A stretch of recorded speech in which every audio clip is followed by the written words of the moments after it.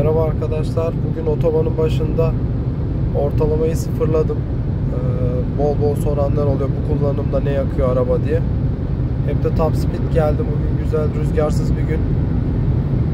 Sürekli 200'ün üzerindeydim. Görünüyor mu? Bir bakayım. 13.1 yaktı araba. Bence gayet başarılı.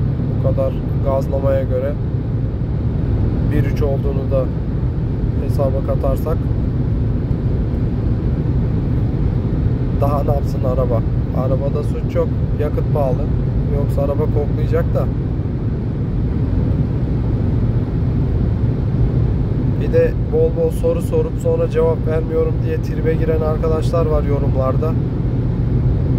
Fark ediyorsanız sürekli yoldayım. Yolların çoğu da gece. Bugün yine biraz daha erken çıkabildim. Çok gece olmadan büyük ihtimalle yol bitecek de. Normalde sürekli gündüz çalışıyorum. Geceleri yoldayım. Şehirden şehire birkaç farklı şehire gidiyorum. Mesleğimi de sorup durmayın yani öyle çok yaygın olan bir meslek olmadığı için zaten 3-5 kişi var sektörde böyle çalışan. Ama pazarlamacı, mümessil falan değilim mühendisim yani en azından onu söyleyeyim de. Yani mühendis olarak çalışmasam da yönetici olarak çalışıyorum.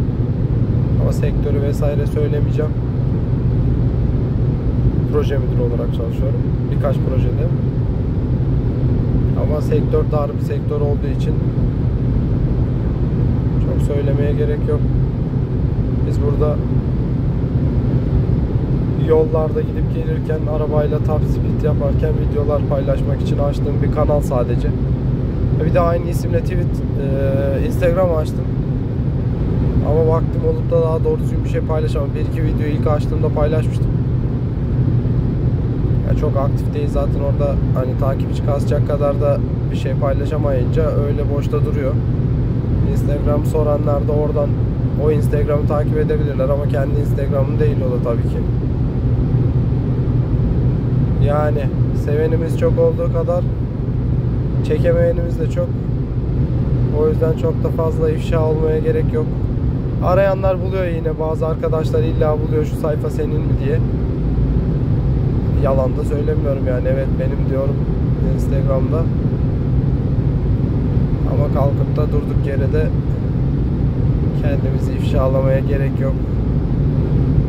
Yani şu paylaştığım videolar çok da normal videolar değil. Evde denenmemesi gereken videolar. O yüzden dolayı hesap başlarda şeydi aslında YouTube doğrudan kendi ismimleydi. Sonra bazı avukat arkadaşlarım ismini değiştirmemi istediler.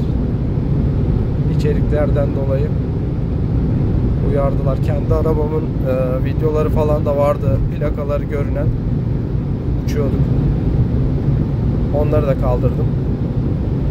Şu an sadece direksiyonda story. Onun haricinde bir şey kalmadı. Çok da vaktim olmuyor dediğim gibi yorumlara cevap vermeyi okuyorum genelde bildirimler geldikçe vakit bulabildikçe ama çok cevap yazacak vaktim gerçekten olmuyor. Olunca yazarım. Yani elime yapışacak değil sonuçta ne olacak.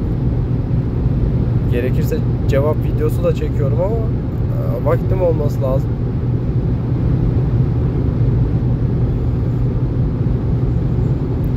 Öyle yoğunluktan vaktim olmuyor pek.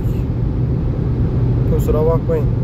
Cevap yazamadığım arkadaşlar, tribe giren arkadaşlar yetişemiyoruz. Herkese iyi akşamlar.